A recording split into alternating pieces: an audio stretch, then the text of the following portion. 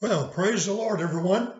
This is Pastor Duke, and I am taking and trying to reach out all around the world today. praise God. It's good to be with you again here on this live broadcast, and I am here to take and to wish everyone a very, very Merry Christmas. Christmas will be next Sunday, and I like to take and to tell all of our people in Scotland also in England, and also in Wales, and also here in America. I hope and pray that all of you have a very, very Merry Christmas. And that goes for Sister Duke also. She sends her regards and hopes that you will have a wonderful Christmas this year. We want to thank God for every one of you that came to the Lord under our ministry. And I know that you're reaching out I know that you've got a burden for souls, and I know that uh, God is going to take and bless your efforts to take and to reach those uh, in all the world. Go ye therefore into all of the world, preach the gospel to every creature. I want you to keep on preaching the gospel to every creature. Today, I would like to talk to you about a Bible study that I have taken and put together called How to Be a Good Christian. Now, we're living in the last day. We're living in the Laodicean age. And I want you to know that this is a horrible age to take and to be living in, and it's going to get worse and worse. Most of us have come through the pandemic, and uh, we had to take and put up with seeing our cl- churches closed. Many of them didn't have service for many, many months. And I'm thank God today that, you know, most of the churches are open again. But still, there's a lot of people that got used to not going to church during that time. And I want to take and to talk to you today about how to be a good Christian. Number one, you need to take and pray. You need to seek God. You need to pray without ceasing. That's what the Bible says in 1 Thessalonians chapter 5 and verse 17. It says, pray without ceasing. In verse 18, in everything give thanks for this is the will of God in Christ Jesus concerning you, and quench not the spirit. So, number one today is pray without ceasing. We find that number two, we need to be obedient to God's will. Oh, is that unusual today? Well, you need to be obedient to the will of God in your life. You need to be taken and reaching souls today. That's what God wants you to know. And uh, you need to take and realize that once God gave you the new birth, that He gave you the ability to reach out to the lost. And if there's some of you that's listening to me today that's never taken and turned to God, I pray and hope that you will turn to God today. Be obedient to God's will. First Samuel chapter 15 verse 22 says, And Samuel said, Hath the Lord as great delight in burnt offerings and sacrifices as in obeying the voice of the Lord. Now, I want you to know that God can speak to you. If He has never spoken to you before, I want you to know that God can speak to you and he also can fill you with his spirit and speak through you. So we find that in Samuel, we find it says, Behold, to obey is better than sacrifice, and to hearken than the fat of the rams. So, number two today is be obedient to God's will. And here is one that we need to take and understand today. Be faithful. This is number three. Be faithful to your church. You need to take and ta- realize today that there are many people that no longer are faithful to their church.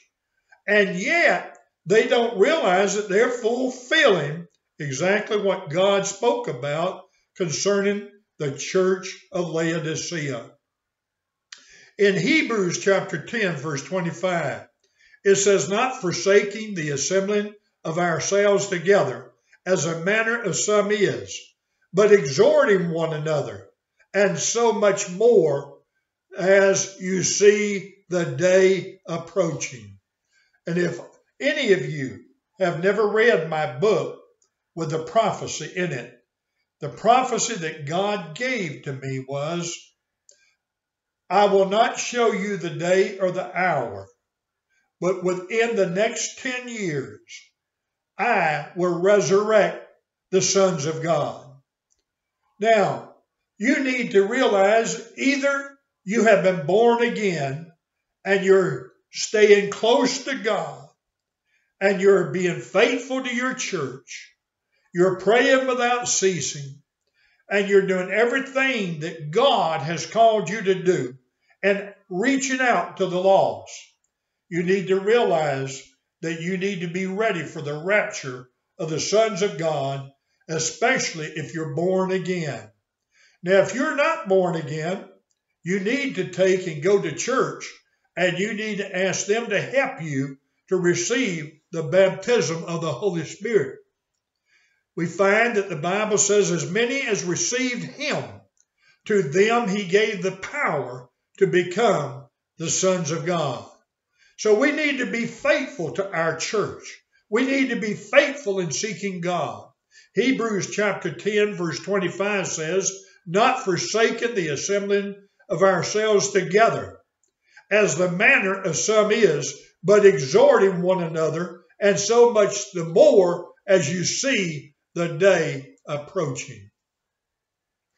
And we need to take and remember that we need to study the Bible.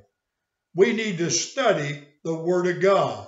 2 Timothy chapter 2 verse 15 says, Study to show thyself approved unto God, a workman that needeth not to be ashamed, rightly dividing the word of truth.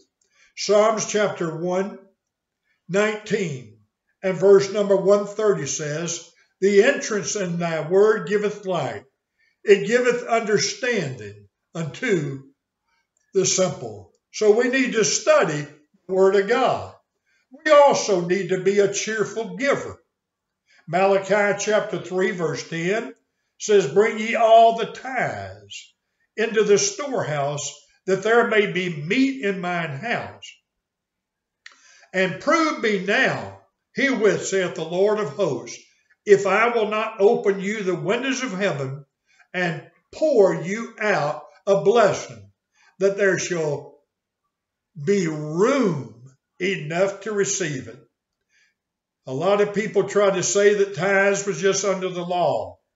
Let me tell you something today. You need to read my Bible study on tithing.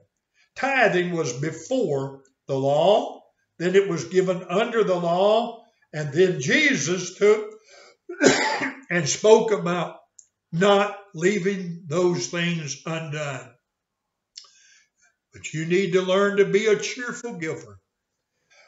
Number six, be the best, not just good.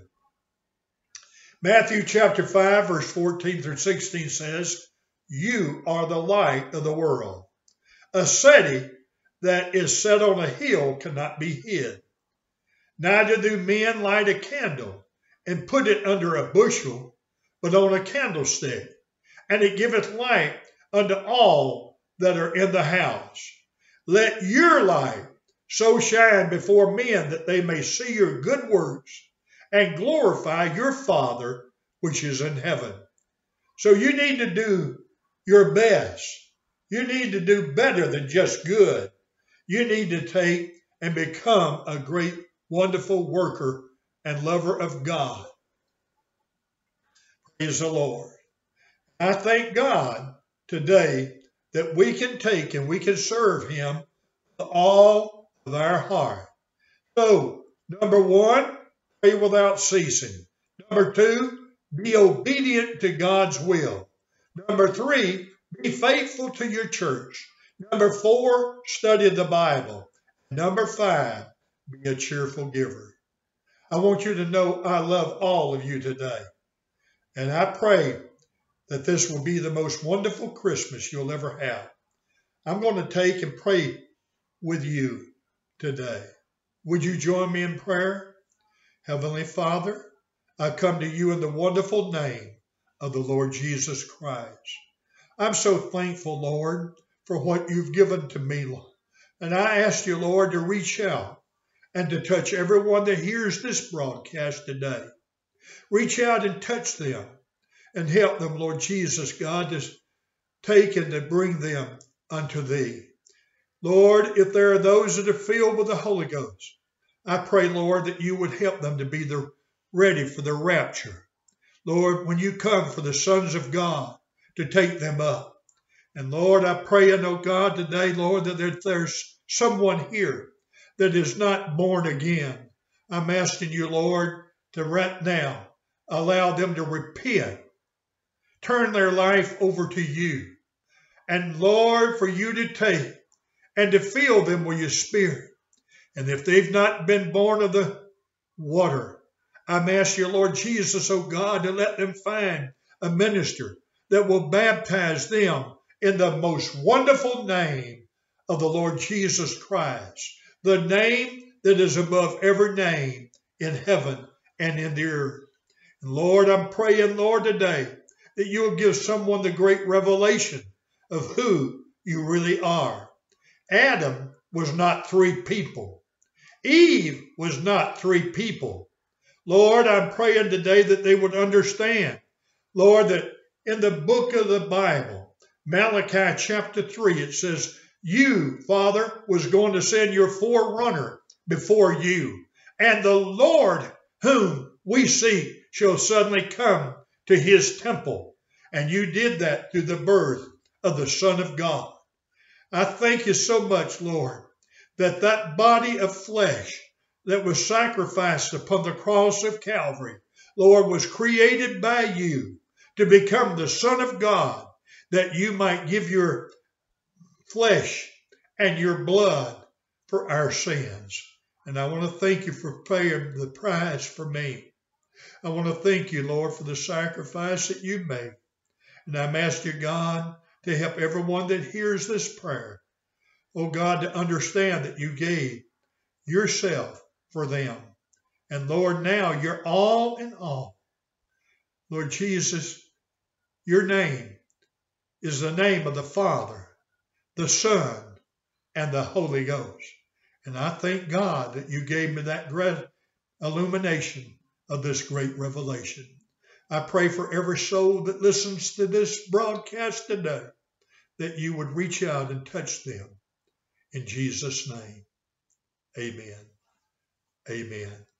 God bless you today.